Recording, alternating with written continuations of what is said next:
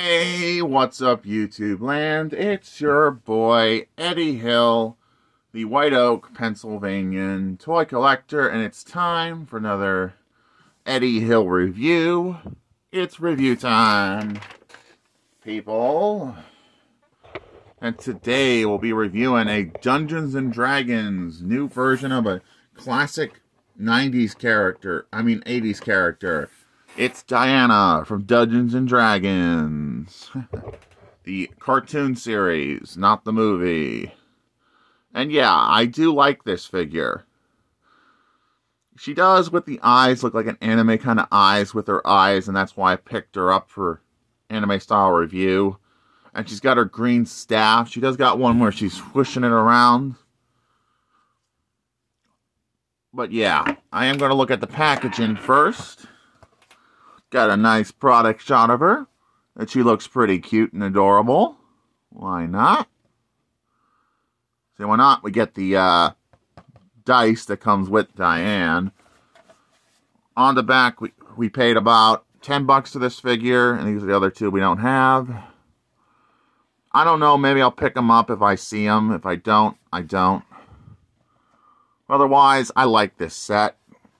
Diana, Stas, and figures. These are just so much fun. That's all there is to say for the packaging.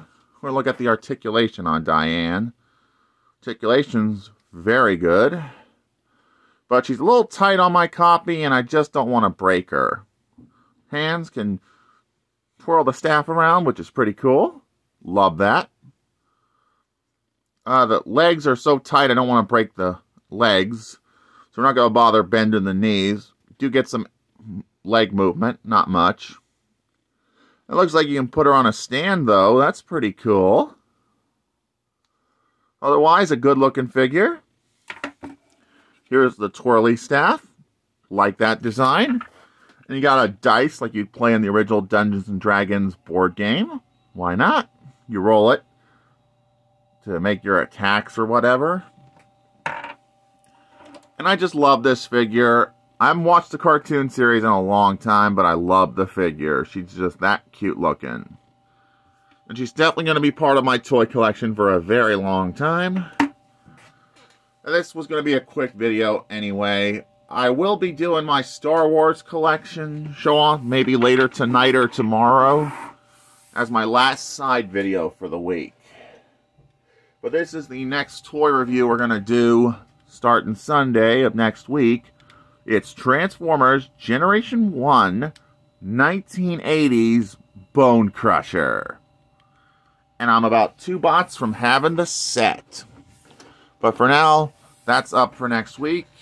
This is Eddie Hill. Moving on and rock on and rock out YouTube land.